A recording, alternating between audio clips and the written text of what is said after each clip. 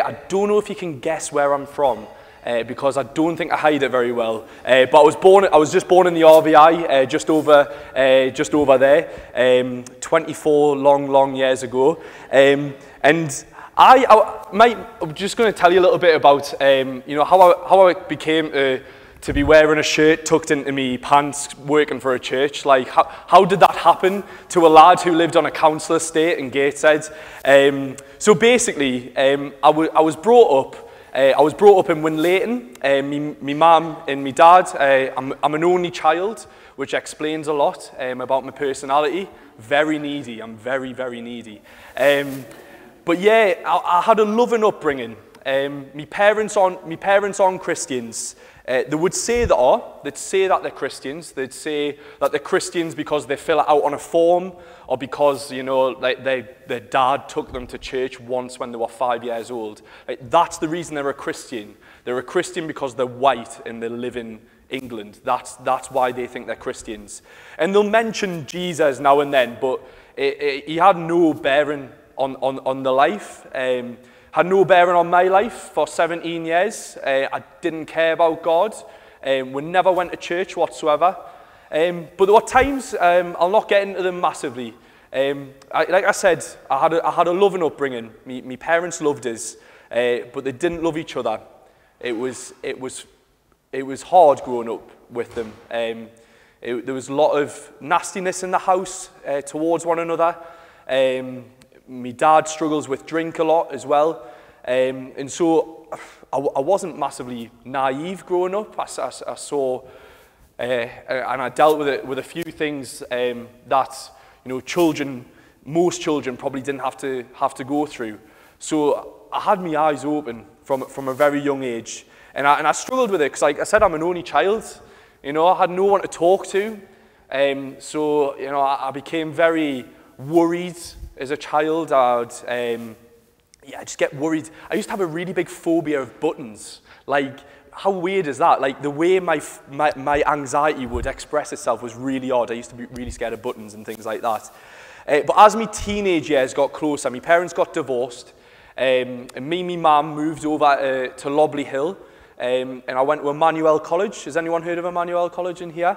Um, great school, absolutely class school. Um, and that's where I first heard the gospel. I first heard about Jesus there, and I thought, what a load of rubbish, eh? What a load of rubbish. I'm not listening to this rubbish, this tripe. I'm, I'm a scientist. You know, I, I'm intelligent. I'm going to, I like physics. I used to be obsessed with the planets and things like that. You know, like, no one can believe in Jesus if you, you know, you believe in evolution, you believe in, in, in physics and things like that. Um, and, I, and I didn't care. I really, I can remember finding one of my books um, in RE, and I'll not tell you what I said, but it was covered in swear words. Um, I never handed that book in, obviously. Um, it was covered in swear words about, about Jesus. I was like, basically, I'm not believing this, is what, is what it said. Um, but as life went on, my mates around us, you know, you're getting your teenage years, you start wondering, what, what is the crack with life? I mean, what is the point of this? You know, you're born one day. It's mental, isn't it? You know, none of us, like, actually, like, when we sit down and think about it, we, we just existed one day. What is the point? What is the point?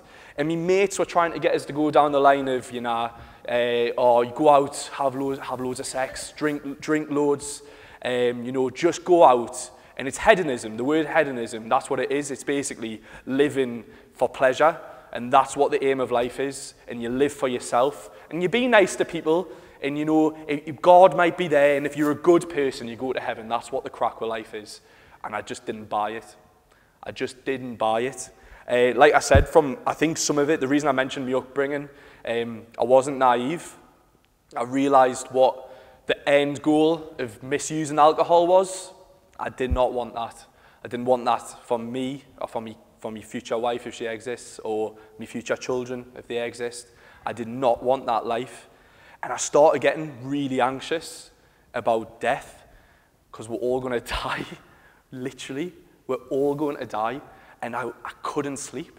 And I was going to sleep for um, you know, like four in the morning, sitting there shaking, like, I'm going to die someday. What is the crack with life? Does, is there anything after death? If there is, can I believe in it? What, what is going on? Um, And then I started listening in assembly. I had seven years of listening to Emmanuel rabbit on about Jesus. Who is this Jesus bloke? He lived 2,000 years ago in the Middle East. Why do I care? And I started listening because I wanted answers to the question that bugged us the most. I'm going to die. What is the crack? Um, so anyway, I, I listened to one assembly by Mr. Hall, absolute legend, um, and it changed my life. It was about prayer. We've just been talking about prayer at the tables a little bit there. Um, and he, sat, he stood there and basically rabbited on about the Bible, but I wasn't really listening.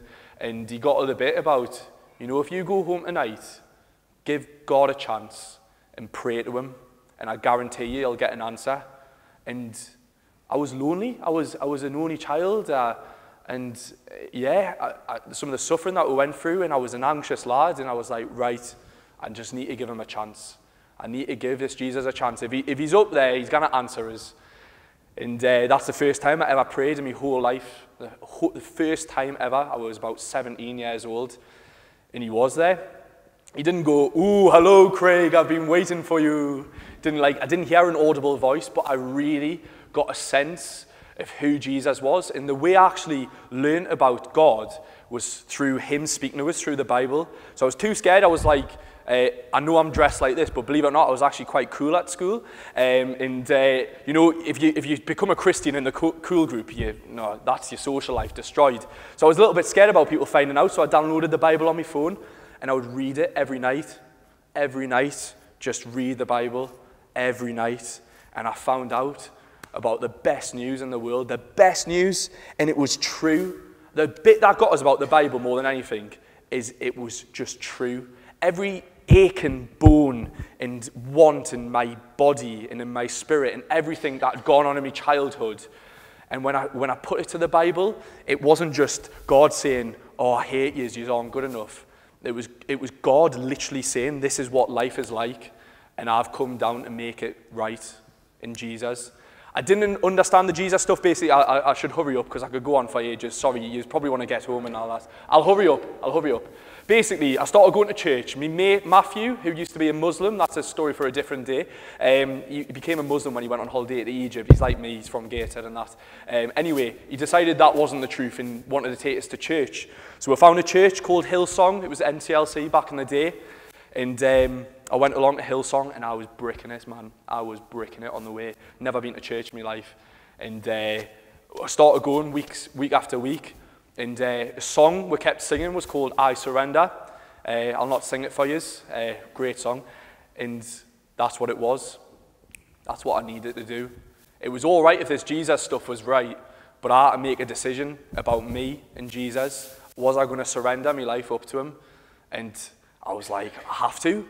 The, the evidence, it's overwhelming. I have to give my life to Jesus.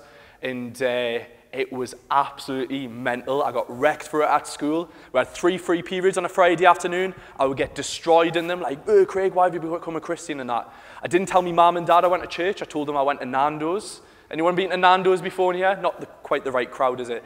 Um, I used to go to Nando's every single week, and I never put on any weight, so I can't believe she actually believed what I was doing.